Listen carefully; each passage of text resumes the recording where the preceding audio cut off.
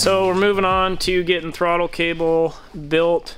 Um, I've got some cable building kits. This one actually was a cable, I don't remember what this one was for. I think this was one that I got with the Odyssey that was supposed to be for brakes, but I never used it. Um, so I'm gonna chop it up and try to use it for this. If not, I've got other cabling. So I'm gonna run this one and delete the uh, factory motorcycle one that I kind of have routed through here and uh, route a new sheath up through into the uh, little body here, wrap it down around, run it to the back, and then I'll build a little bracket to catch this cable end, and then I'll have to build um, a little adapter piece or something to attach this cable to the other one, and then it'll all mount down on the inside of the frame, and that way we can have throttle. So we get started.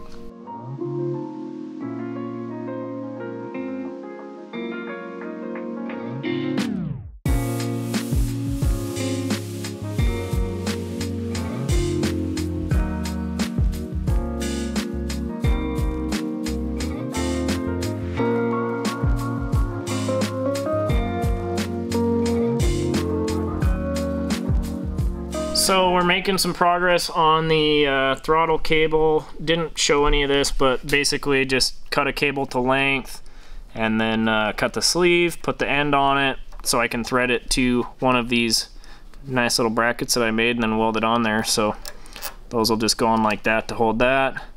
And then I ran it through a little brass sleeve for putting like a cable end on it. And I just ran both of them through there kind of crimped a little bit, silver soldered it. That way the two cables will be held together.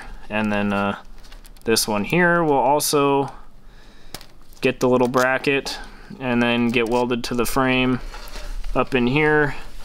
That way it can all get mounted up. And uh, I couldn't, the reason why I attached these two cables together like this is I didn't really feel like building a uh, little device to try to hold the two cable ends together. And uh, also I couldn't take this box apart to just build a whole cable. Um, it's like glued together and I didn't want to break it and then have to buy another one so I figured I would just go this route and try it. I've silver soldered cables together before and it worked so we'll see what happens.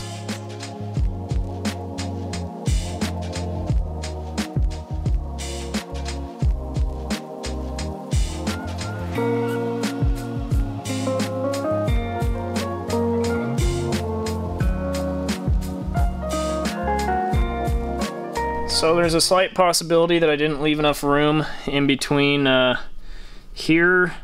So I'm gonna go ahead and trim this back with the grinder. Hopefully I don't cut the cable on the inside. I guess if I do, I'll have to build a new one. But uh, we'll see if I can trim that a little bit shorter.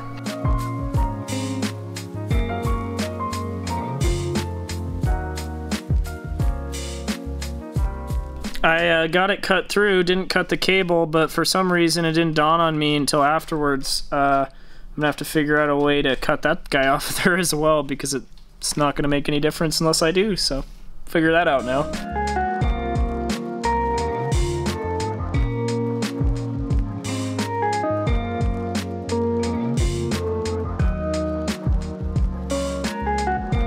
We got throttle all hooked up, I was able to uh, trim that little sleeve down the middle as well to get it the rest of the way off there.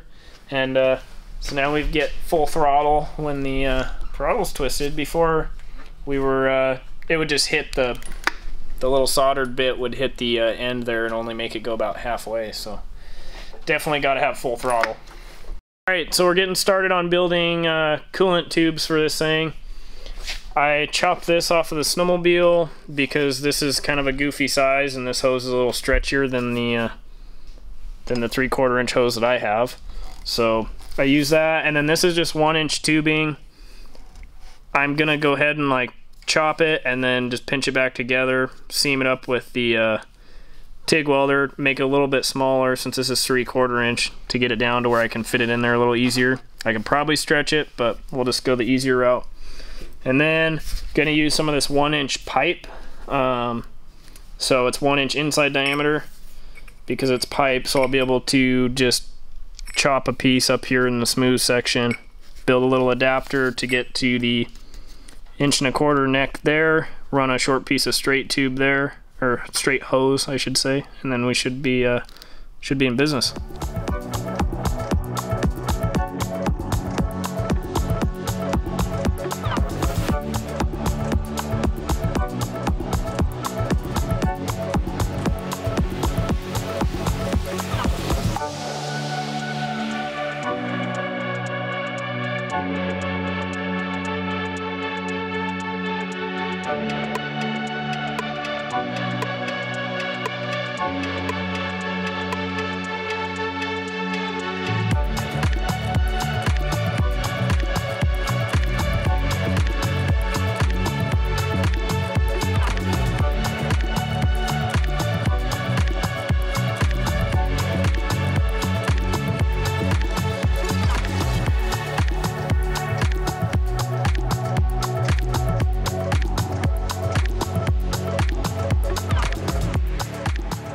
We've got three pieces here now to make this one fitting because after I got this piece sized down, seamed up, and then uh, I put a little bead around the edge of it, which isn't the most beautiful thing in the world. It's quite terrible, but it'll do the job. It's just got to hold the hose from shooting off and shooting hot coolant all over us. So should do that. And then uh, I just chopped another piece of one inch tube, slid it over the top, to uh, space it up to that size to get the inch and a quarter outside diameter for that. So I'll run a bead around this one and then weld them all up and then we'll be able to uh, hook the top hose up.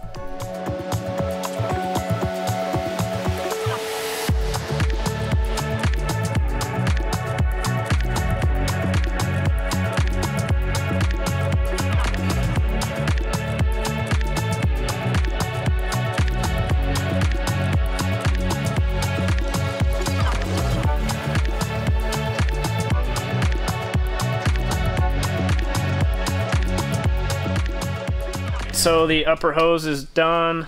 Got that adapter made. And then uh, now we're going to move on, get this lower hose done. This is actually one inch here instead of the three quarter. So I've just got some one inch hose and I'll be able to run it down and then just build another one of these adapters, but just run the straight one inch tube out of it and then uh, to run it from there up. Got to trim these uh, fittings a little bit for the overflow.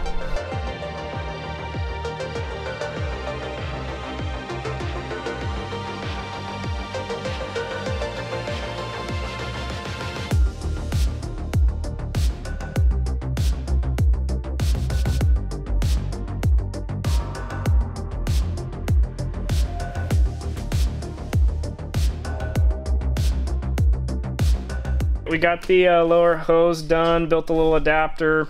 All the hoses will get clamped on, but not doing that yet because I'm going to probably have to take them back off at some point before too long. But we're going to move on and uh, I'm going to eliminate this radiator cap here because we've got one on the radiator anyways, which will get moved around later on, but that's not to worry about for now. So I'm going to go ahead and take this off, build a little steel triangle, and then uh, that way we can get rid of that.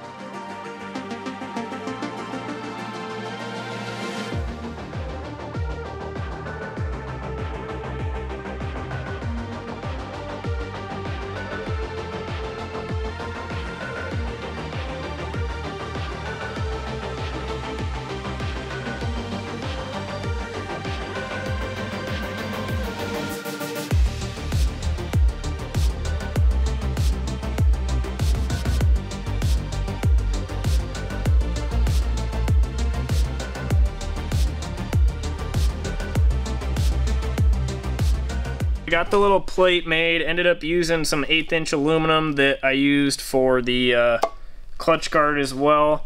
Didn't put a bleeder port in there just because there's really not much of a point because this hose is the highest point in the top of the head essentially and then it runs to the radiator and the radiator filler is going to be higher than the top of the engine anyways so it'll be able to bleed all the air out that way. We're gonna try to get a test drive on this thing, probably not next week's video, but the video after that. So make sure you hit the like and subscribe button, get that bell on so you get notified when we post the next video.